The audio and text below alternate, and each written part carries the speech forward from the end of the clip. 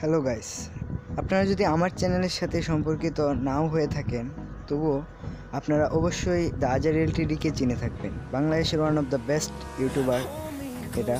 তো আজকে আমি ওদের যে লোগোটা সেটা কীভাবে বানাই, তা আমি ব্রেকডাউন করে দেখাবো।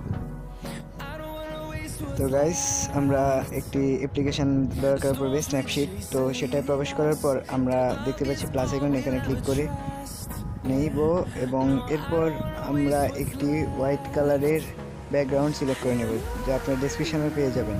তো এইটাতে যাওয়ার পর আমরা টুলে অপশানে ক্লিক করে নিচে দেখতে পাচ্ছেন টেক্সট তো এটাই ক্লিক করব এবং বাম সাইডে যে কালার আছে, সেটাই ক্লিক করে আমরা ব্ল্যাক কালার দিয়ে দেব। ব্ল্যাক কালার না দিলে হবে না। তো এই ব্ল্যাক কালারটা যদি দেই, তারপর আমরা নিচে অনেকগুলি দেখতে পারবেন যে টেক্সটের অপশান আছে। এর মধ্যে এম থ্রি নামক একটি আছে, সেটাই প্রবেশ করে নেবেন। এরপর এখানে ডাবল ক্লিক করবেন এবং আমরা যদি টাইপ করে দিই যে দা আজাইরা এলটিডি এর মধ্যে দা এন্টার আজাইরা এন্টার এলটিডি তো এভাবে আর কি লাইন বাই লাইন দেখতে হবে। তারপরেই দেখতে পারবেন যে আমাদের যে লোগোটা সেটা সম্পূর্ণ হয়ে যাবে।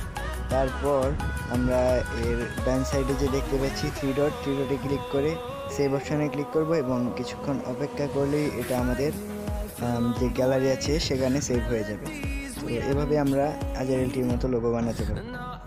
এভাবে আপনারা বানাতে পারবেন এবং আশা করব যে আপনার ভিডিওটি কাজে লেগে থাকবে। তো আমার চ্যানেলটিকে সাবস্ক্রাইব করে দিবেন লাইক করবেন শেয়ার করবেন এবং কমেন্ট করবেন।